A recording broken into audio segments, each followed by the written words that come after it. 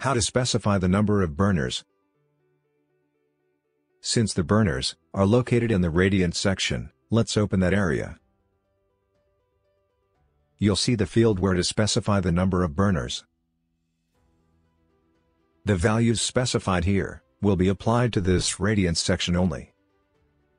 If you have multiple radiant sections, you'll need to specify number of burners for each one. The default value may be set as auto, which means that the program will automatically calculate and suggest an appropriate burner arrangement.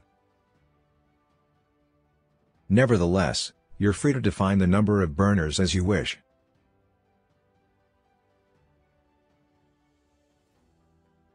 Thank you for watching, and don't forget to subscribe.